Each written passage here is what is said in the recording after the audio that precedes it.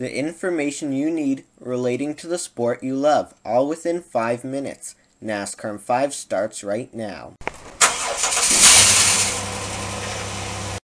Hello, everyone. Welcome to NASCAR in 5. I'm your host, Bryce Turner. This weekend, NASCAR races at Kentucky. A look at the schedules coming up, but first, a look back to the races at Daytona and Kentucky.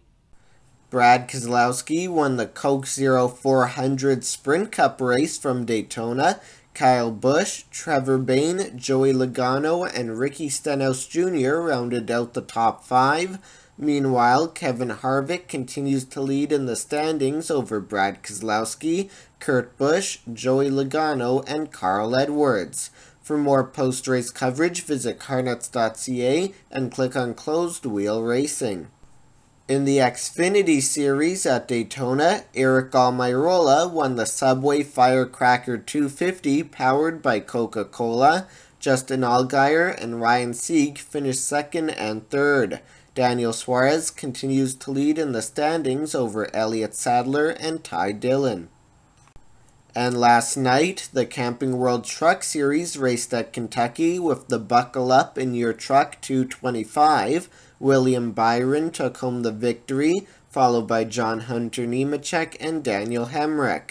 Byron continues to lead in the standings over Matt Crafton and Daniel Hemric. It's time now for a news update. In the news, Joe Gibbs racing driver Matt Tifft has successfully undergone brain surgery. The 20 year old Xfinity and Truck Series driver had surgery Friday to remove a low grade glioma in his brain. Tifft is expected to resume racing after he completes rehabilitation and receives medical clearance. In other Xfinity news, driver Darrell Wallace Jr. has been penalized because of a tweet. Wallace tweeted after last weekend's Xfinity race, quote, Got the Muppets up there officiating tonight. Never know how to react under pressure. What a joke. End quote. Wallace has been fined $15,000 for a behavioral level issue. The annual Jimmie Johnson Foundation Golf Tournament and Dinner took place recently.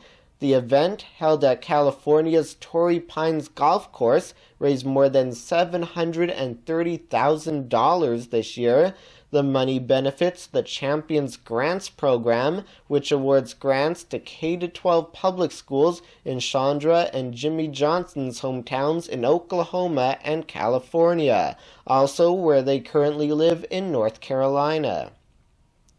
And Benny Phillips won the sixth Squier-Hall Award for NASCAR Media Excellence. Media outlets where Phillips worked included the High Point, North Carolina Enterprise, Stock Car Racing Magazine, and TV station TBS. Phillips died in 2012 at the age of 74. Tonight, the NASCAR Xfinity Series races at Kentucky Speedway with the Alsco 300. The race will take place at around 8:45 p.m. Eastern with broadcast coverage on NBCSN, TSN2, PRN, and SiriusXM. Qualifying is set for today at 4:45 and can be seen on NBCSN. Then tomorrow night, it's the Sprint Cup Series Quaker State 400 presented by Advance Auto Parts. The race will take place at about 7:45 p.m. Eastern with broadcast coverage on NBCSN, TSN2, PRN, and SiriusXM. Qualifying is set for today at 6:45 with TV coverage tomorrow on NBCSN. Qualifying will be live streamed online through NBCSports.com.